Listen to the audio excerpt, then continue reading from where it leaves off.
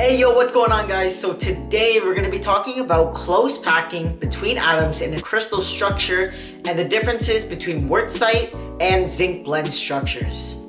So let's set aside the social distancing for a second and let's get close to each other.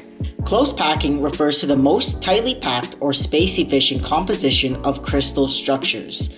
This means that in order to maximize the efficiency of packing and minimize the volume of unfilled space, the spheres must be arranged as close as possible to each other. To demonstrate close packing, I'm going to be using pop cans.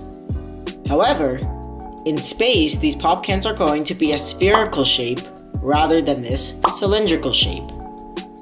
These pop cans are going to resemble the familiar anions that touch in close packing as they are often larger than cations. So close packing requires the least amount of empty space as possible. So if we were to arrange these cans in a square, we can see that there is a large empty space right in the middle. Instead, we can shift these two cans to fill that empty space, just like this. This is what resembles close packing. If we remember that each can resembles a sphere, with a single layer of cans, we can see that each can has six corresponding cans around it, forming what we call a hexagonal coordination. When we add secondary layers on top of the first, we're going to align them on top of the pop cans. But remember, that in space, these are spherical shapes and not cylindrical shapes. Here we can see two layers with various holes passing through the array such as here, here, here, in between each of the cans where there's minimal space. So there are two types of holes called interstitial sites in which the cation will fit in since it is very small compared to the anion. We will first resemble the cation as being this tiny gummy bear. So the first type of hole is the octahedral hole. This is when the cation has six near sphere neighbors to the atom.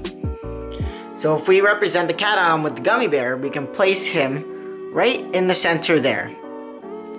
The gummy bear or cation is touching one, two, three, four, five, and six. This is what resembles an octahedral hole. The second type of hole is a tetrahedral hole. It's where the cation has four near sphere neighbors and has two different variations. So the first variation is when the cation is rested right here in between one, two, three, and four anions. The second variation of the tetrahedral hole is when the anion is placed right here, where it is touching one, two, three, and 4. When we add the third layer, placement of the anion does matter. For the third placement, we can place it directly over top of the first layer atoms. You can see the two crushes are directly in line. This means that this layer will match identically to the third layer up top. This is what we can describe as an ABA configuration.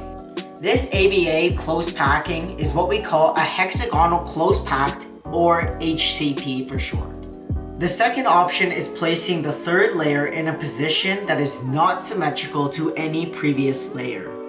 So if we start the third layer right here, we can see that if you were to move this can down to the first layer, it would not match identically with this front can here, as this can is a little pushed back. So this is what we can describe as an A, B, C layer ordering. As there are three non-eclipse layers, leaving it staggered with respect to both previous layers. This ABC close packing is what we call cubic close packed or CCP. CCP can also be known as face-centered cubic or FCC. So let's now take a look at two common crystals. So the first crystal that we're gonna look at is zinc Blende. Zinc Blende has an FCC configuration. Zinc Blende has a very similar structure layout to diamond. However, diamond is made out of only carbons, and zinc blende is made out of zinc and sulfur ions. So we're going to start off with this cubic structure since we know that the configuration is an FCC. We know that there's going to be anions on each of the vertices and on each of the faces. For each of the corners on the cube, there's only an eighth of the anion that's inside of the cube. So if we take all eight of these and multiply by one eighth, which is inside the cube, we get a factor of one. For the face anions, half is inside of the cube. So we multiply the half times 6 because of the 6 faces, and we get 3. 1 plus 3 equals 4, so we know that we need 4 cations to balance out the charges. So where do we place these cations? These cations are going to be placed throughout the tetrahedral holes within this FCC structure. We know that there's 4 cations. So the first cation is going to be placed in the front left bottom portion of the cube. The second one is going to be placed at the back right of the bottom portion of the cube. And you're going to take these and flip them onto the top side. This cation here is going to be on the right side of the front of the cube. And this one is going to be on the left side of the back of the cube on the top. Here's a diagram to explain. So here I have a model of zinc blende made from toothpicks and marshmallows. The cations are represented by the pink marshmallows within the cube. So the cations are attached in more like a W shape on the top, and on the bottom they're attached more like an M. So the second crystal structure we will look at is wurtzite. Wurtzite has the same chemical formula as zinc blende, but has an HCP configuration rather than zinc blende CCP configuration.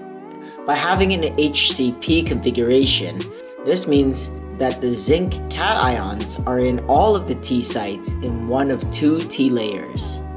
And for the zinc blende, the zinc cations are in half of the T sites in each of the two T layers. Even though zinc blende and wurtzite have the same chemical formula, all that really matters is the configuration of the anions and cations within the crystal structure, which defines each material. And that's it. I hope you guys enjoyed the video. Make sure to like, subscribe, and I'll catch you guys later. Take it easy. That's all, folks.